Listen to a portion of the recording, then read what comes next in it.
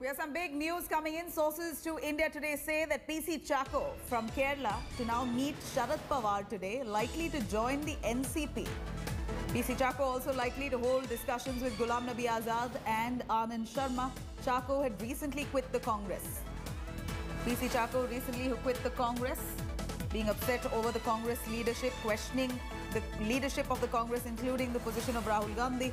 Here, PC Chacko now eyeing joining the NCP. Sources tell us that he's likely to hold discussions with Ghulam Nabi Azad and Anand Sharma.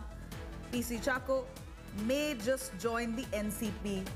Uh, in fact, the NCP, Sharad Pawar and PC Chacko, we believe, are uh, quite in talks. A confirmation yet to come on that.